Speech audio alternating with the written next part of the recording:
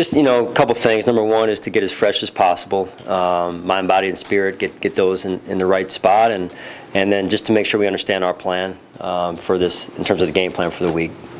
Sean, when you look at it now, you, you guys are five and two. I was thinking about the first day of training camp, and you had talked.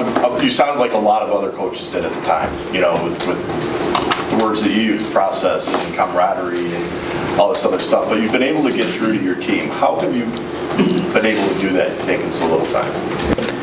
Uh, you know, I got a good staff. Um, I've got good coaches. Um, we've got, you know, good players on this team in terms of uh, guys that, through the scouting process, and that Brandon Beane and, and his staff have brought in, that they've got the DNA that we're looking for, and that that makes my job a whole lot easier. Uh, when you have good people, uh, good people in the building to help and support me.